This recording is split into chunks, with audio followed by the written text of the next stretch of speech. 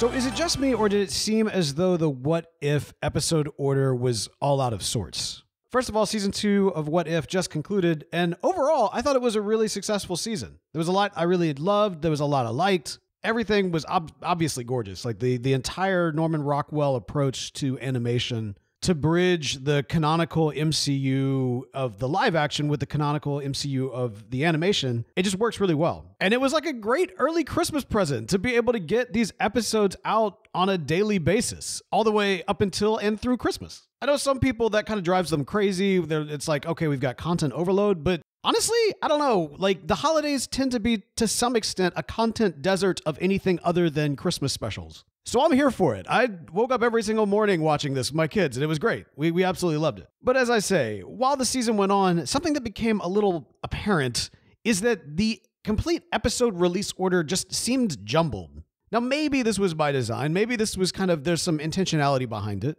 But the way it's structured right now, you know, we, we first get, you know, Nova Corps Nebula, followed by Kid Peter Quill versus the previous generation of Avengers. Then, of course, Happy Saves Christmas, Iron Man on Sakaar, which was technically supposed to be last season, Captain Carter versus the Hydra Stomper, the introduction of Kahori, Hela and the Ten Rings, 1602, and then, of course, bringing it all home with Strange Supreme versus the Multiverse.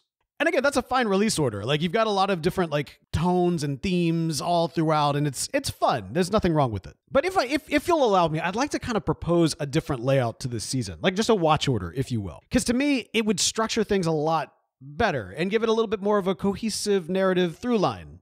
And before you jump in the comments and say, like, hey, no, it's like, you know, all of these different popcorn esque stories. There's not supposed to be a coherent through line. It's the what if. No, that's not right. What if it's always had a co- coherent through line? It just sneaks up on you. And maybe that's what they wanted to do. They wanted it to sneak up on you like it did in season one. But no, no, no, no, no, no. We're in season two now. Here's what I'd suggest. You start off with the first episode being the Iron Man on Sakaar. We know that was supposed to be in season one. It has connective tissue with the finale from season one, with the way that it's set up. You're reintroduced to the world of What If. And it's just a great episode. It's a lot of fun. It's Mad Max in space. Then after that, you jump to Nebula. After that, Happy Saves Christmas. That way you still get the whole Christmas Eve release type situation. Then you go Peter Quill. Then Hela and the Ten Rings. And from that point on, you start setting up what is the cohesive story of the season, right? You jump to Kahori for episode six, followed by Captain Carter and the Hydra Stomper. Both of these lead directly into what happens in 1602 and Strange Supreme getting involved as the finale. I don't know. To me, it seems as though this is the way the narrative was meant to be structured, but for whatever reason, it was all jumbled. And maybe it's the tension of what What If is, right? Like it's supposed to be this anthology. And so keeping all of these stories separate and kind of individual and self contained is a really cool thing.